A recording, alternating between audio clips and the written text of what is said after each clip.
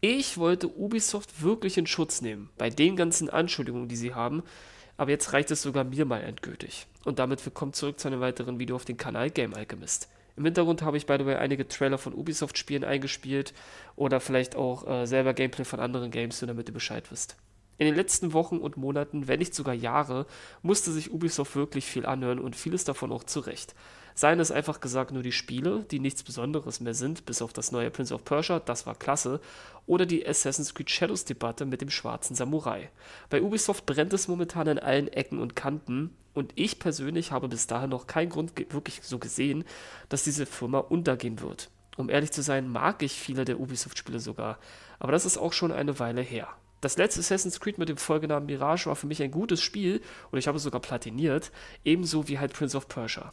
Das sind aber Ausnahmen und der Großteil wie ein Skull and Bones oder Star Wars Outlaws, um Gottes Willen, sind halt Rotze und kann man einfach in die Tonne kloppen.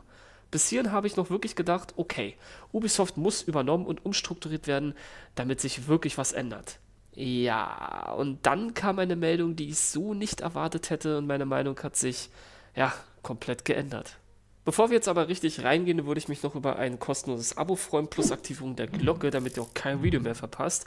Einen Daumen nach oben oder unten geben, je nachdem, wie es euch gefallen hat. Und für den krassen Support auch gerne einen Kommentar verfassen, was eure Meinung hierzu ist. Wer den Maximal Support raushauen möchte, also den Giga-Support, der kann sehr gerne noch eine Mitgliedschaft ab einen einzigen Euro dalassen und so viele weitere Stream-Let's Plays anschauen, die ihr sonst nicht schauen könntet. Ist aber halt auch kein Muss, ne? Ich bin dankbar für jede Art von Support. Nun geht's los mit dem Rant. Von welcher Meldung ist jetzt denn die Rede, fragt ihr euch sicherlich. Naja, Ubisoft hat ja ihr Assassin's Creed auf Februar verschoben und ja, somit halt kein Spiel mehr dieses Jahr. Stimmt's? Nicht ganz, denn die großen Visionäre und Intelligenzallergiker der Firma haben sich gedacht, wie wäre es, wenn wir unsere Firma komplett an die Wand fahren, Leute, und ein Free-to-Start-Spiel heimlich veröffentlichen, in dem man über 60.000 Euro NFTs kaufen kann? Wäre doch der perfekte Sargnagel, oder? Außerdem brauchen wir noch Kohle wegen unserer Fake-Games dieses Jahr, also Skull and Bones und Star Wars. Ja, genau. Ubisoft mal hat mit dem Spiel Champions Tactics ihr erstes und hoffentlich letztes NFT-Game nun offiziell rausgebracht. Und ja, by the way, sehr einfallsreicher Name, Champion Tactics. Ja, wenn man gerade dabei ist, vielleicht die erste Blaupause des ersten eigenen Spiels fertigzustellen. Ihr fragt euch gerade bestimmt auch, was zur Hölle ist eigentlich ein Free-to-Start-Game? Was soll das sein? Ich erkläre das mal eben. Da draußen in der weiten und hässlichen Welt gibt es PCs und Konsolen und die startet man gewöhnlich, damit man zocken kann. Ist ja simpel. Bei diesem neuen Ubisoft Original Meisterwerk dürft ihr tatsächlich ohne Geld euer System starten um dieses Schmuckstück der Unterhaltungskunst zu installieren und zu spielen. Und das war's auch schon. Man kann das Spiel zwar starten, muss aber recht schnell echtes Geld ausgeben, weil man sonst nicht wirklich zocken kann. Also, keine Ahnung, wie ihr das seht, aber, aber in meiner Welt nennt man sowas halt Pay to Win. Aber was weiß ich schon, nennen wir solche dreckigen und absolut widerwärtigen Games doch einfach kackendreist Free to Start. Das klingt dann für die ganzen hirnlosen Wahlen da draußen, die eh zu viel Kohle haben, nicht ganz so schlimm. Bevor wir aber weiter ranten, was kann man in diesem Spiel eigentlich so machen? Man kauft sich Helden mit echtem Geld, seien es welche von 8 Euro bis zu der teuersten Figur 63.523 Euro, das ist kein Scherz. Ich meine, ja klar, also natürlich ist das kein Scherz, das ist Ubisoft. Alter, meine Fresse, ey, wie viel Döner ich mir davon kaufen könnte, ne? Der Wahnsinn. Ja, und was macht man dann mit den Figuren? Die kämpfen dann gegeneinander und die bessere gewinnt dann. Ja, super Konzept. Ist auch gar nicht irgendwie altbacken oder so und komplett innovativ. Animation haben sie sich wohl auch gespart, da es alles eine Tabletop-Optik hat. Und nein, ich werde dir kein Gameplay von diesem Kackspiel zeigen. Ihr müsst mir das jetzt einfach mal glauben. Ihr könnt es auch sehr gerne nachlesen. Also die wollen halt auch mit dem geringsten Aufwand überhaupt das Maximalste herausholen durch ihren NFT-Wahn. Ist doch super. Ist doch... Ich verstehe gar nicht das Problem. Aber ey, bei der ganzen Kritik, ja, man kann ja bestimmt auch mit einer 8-Euro-Figur eine Chance haben zu gewinnen, oder? nee, Nein, ganz sicherlich nicht. Ihr habt da keine Chance. Denn je teurer eure Figur ist, wer hätte es gedacht, desto stärker ist sie auch. Clap Ubisoft. Boah, da muss ich direkt mal investieren, damit ich mit einer 60.000 Euro Figur eine 8 Euro Figur ficken kann. Ist der besser als eine VR-Profi bei Ubischrott. Nice. Aber jetzt mal Spaß beiseite. Was bringt es denn Ubisoft eigentlich und wie denken sie über ihre NFT-Scheiße, die sie da abziehen wie ein Panini-Sticker? Ich zitiere mal ganz kurz. Das Team bei Ubisoft Paris, das Champions Tactics Grimoria Chronicles entwickelte, hat sich mit dem Strategic Innovation Lab von Ubisoft und Oasis zusammengetan, und nein, ich meine nicht die Band, um sicherzustellen, dass unser Einsatz von Blockchain dazu dient, unseren Spielern neue und innovative Spielerfahrungen zu bieten.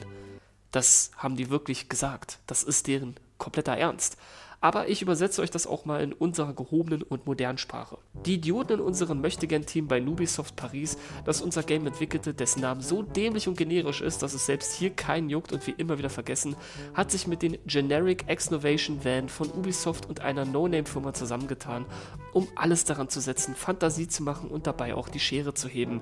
Denn wir wollen euch euer Geld aus der Tasche ziehen und euch eine Spielerfahrung bieten, die ihr selbst aus einem Happy Meal Spielzeug von Mac besser erleben könnt. Nebenbei wollen wir euch euch auch pleite machen, ihr dumm, dreckigen, väterlosen Hu. So, jetzt aber mal Real Talk ohne Skript von meiner Seite aus. Und dazu stehe ich sogar mal auf, denn ich rede mich gleich, glaube ich, in Rage.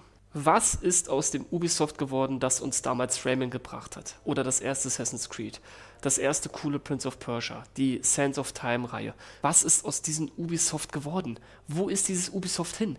Es ist schon seit Jahren weg, ich weiß. Aber jetzt mal ganz ehrlich, NFTs sind seit 2021 gar kein Thema mehr das ist durchgefallen, die Scheiße braucht kein Mensch. Wer da wirklich investiert hat, hat sowieso den Glauben, also wirklich, der ist so sturzdumm und sollte wirklich, keine Ahnung, in Therapie gehen, wer so eine Scheiße kauft. Und jetzt will Ubisoft mit einem fucking Spiel, mit einem kompletten NFT-Game in den Markt gehen und erwartet, dass man die ganze Kohle, die sie für fucking Skull and Boats rausgehauen haben, für Star Wars fucking Shit Outlaws, wollen die dann die ganze Kohle wieder reinbringen oder was?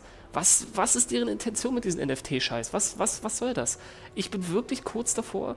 Also ganz ehrlich, passt auf. Ich habe Assassin's Creed, wie heißt es, Shadows genau.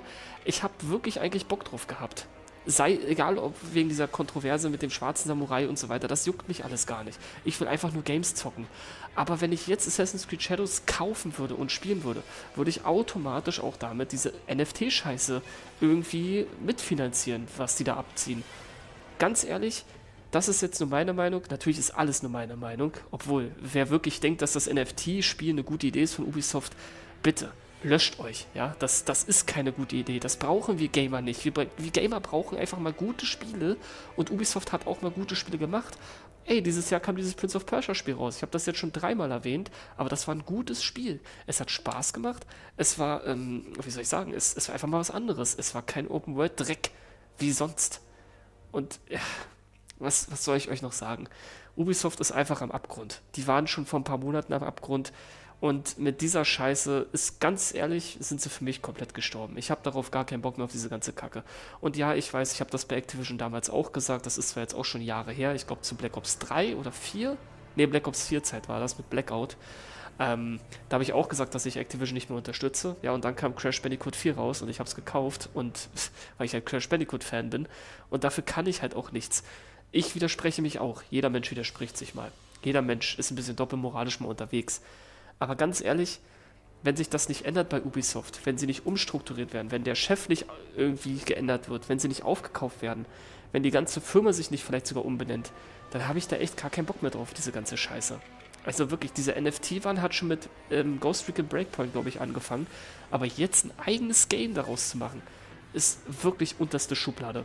Ich hoffe, dass diese Firma pleite geht oder komplett äh, neu umstrukturiert wird. Ich hoffe nicht, dass die Entwickler bei Ubisoft, die wirklich noch vielleicht einfach normale Spiele machen wollen, dass die darunter leiden. Ich möchte einfach nur, dass die ganze Firma einen kompletten, wie nennt man das, ein komplettes, kompletten Neuanfang bekommt.